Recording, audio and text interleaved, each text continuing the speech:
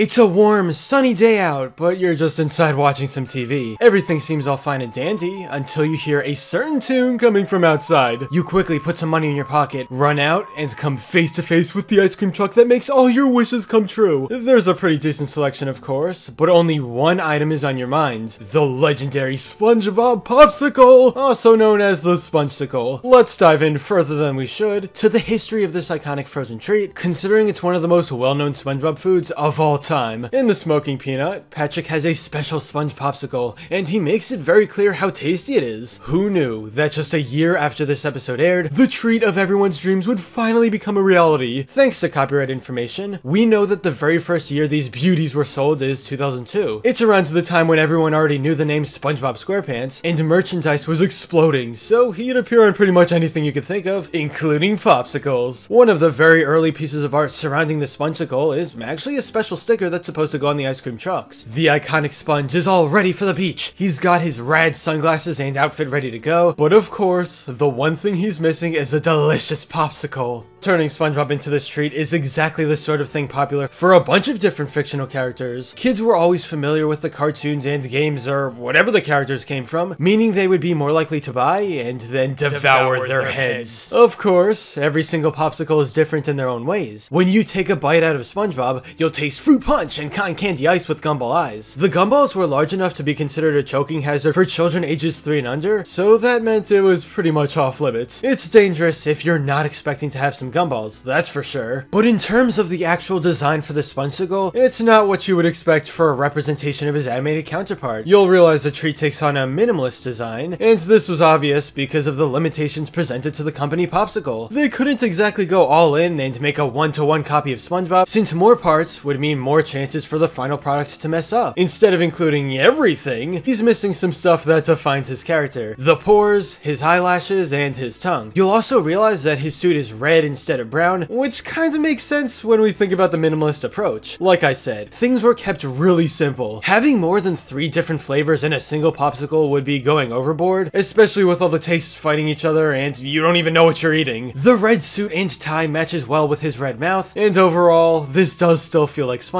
You could tell they did their best to bring him into real life. May I help you? I'll take a banana split. Uh, we don't have that. That's okay. I already split my pants. Get it?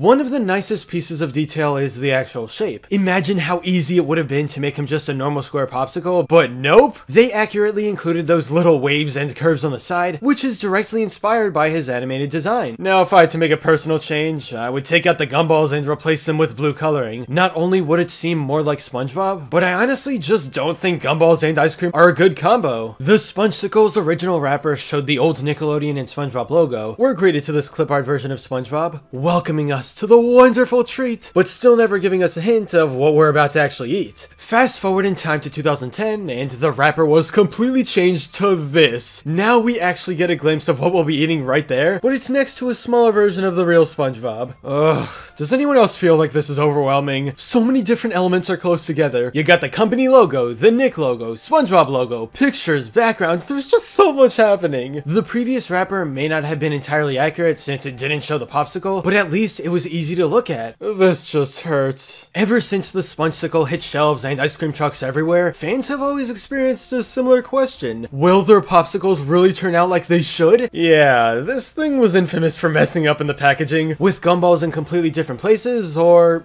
whatever this is. Sometimes it seems like he was sent through a black hole right before you open the wrapper, and voila, he has returned for your eating pleasure. Just be ready not to sleep at night. What's really special about these Spongesicles is that they've never faded away, thanks to the cartoon still airing new episodes today. And because everyone knows the glory of this frozen treat, a special set of figures were revealed in 2019. Created by Alpha Group, there are four different versions of the Spongesicle vinyl collectible. All of them are made to replicate that nostalgic feeling you'd get when you first pop open one of these boys on a hot summer day. I love how the package is exactly like what you'd find in the freezer. The attention to detail here is better than it should be. 2019 also revealed a special pin made by Zen Monkey Studios, which did its best to capture the feel you'd get after taking a bite. This isn't completely accurate because of SpongeBob's pores and the fact that he has blue eyes instead of blue gumballs, but whatever, I'll let it slide. This was all in good fun, and of course to make some money off nostalgia. No doubt about that. While the Spongesicle's popularity may have decreased over the years, the fact fact that it's still around in modern day is enough to make me smile. If the show keeps going, we are gonna keep seeing this, and its nightmarish designs will never be forgotten.